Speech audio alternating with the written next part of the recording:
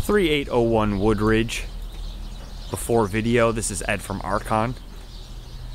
And you see today's the first day um, they're starting on it. So all they've really done is plumbing, and they're working on plumbing. Um, the reason why they got going on the plumbing first is um, I'll show you in the basement. We're going to have to um, remove a tree out here in order to repair uh, the water service from the city, the street line here to the meter base inside. So I'll show you that here. Um, so they got a little early start on this, so but that's really all they're working on right now is plumbing. So, but I'll go ahead and go through here with you. So here in the uh, living room and entryway, we're gonna need to repair all the drywall, new paints, new electrical plugs, cover switches, light fixtures. See, they're starting to gather material here. And tape off windows, just prep work. Some demo as well. So, but we'll repair drywall, new paint, new electrical, uh, refinish wood floors, new blinds.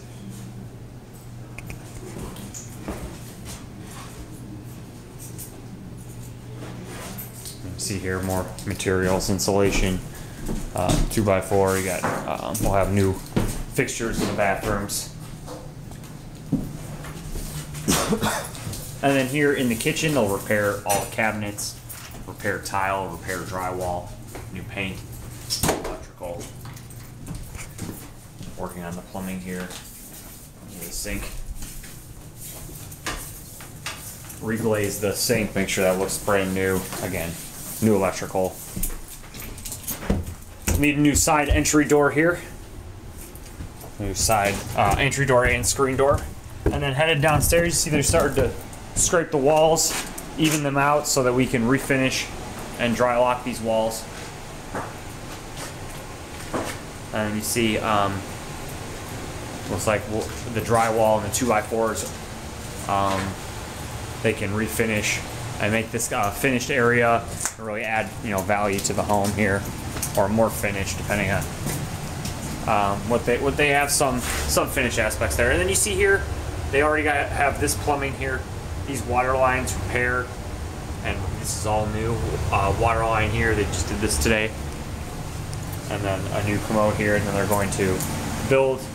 Uh, this into a half bath, a fully functioning half bath, half bath. And then you see here, also today they installed the new laundry sink and all these water lines here. And then this is what I was talking about. Um, outside,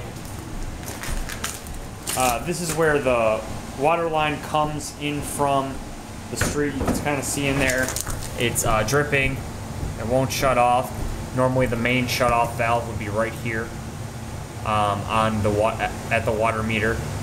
And um, none of that is there, but they they've done uh, the city's inspected it and uh, used their equipment to find exactly where the leak is uh, coming from, and it's out of the street. I showed you that tree there, and that's where it's at. Uh, the roots are um, knocking that out of out of line and breaking the and breaking the water lines. So um, they'll need to. Uh, the city will need to remove the tree, and then we will need to um, go ahead and dig that up and repair our portion of it from the street to the house. And then, um, and then we'll be able to restore functioning service here. So, and, and with a new water meter and everything. So it'll be very nice. So, but again, you see um, a little bit of tear out throughout the home so far. Not too much. Just taping off and plumbing basically going on right now. Prep work, plumbing. So I'm then headed upstairs. You can see where they've removed wallpaper and debris on the walls. But again, you see here, we need to repair drywall, new paint, new electrical plugs, cover switches, light fixtures, and they have nice wood floors to refinish. And then here in the bathroom, again, you see um, we'll need new commode, uh, clean, caulk, glaze a tub, repair tile, a lot of nice tile in here. Repair drywall, new paint. And we'll repair plumbing and electrical.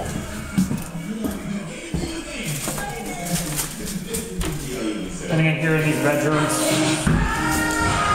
repair drywall, new paint, new electrical, new blinds, uh, refinished wood floors.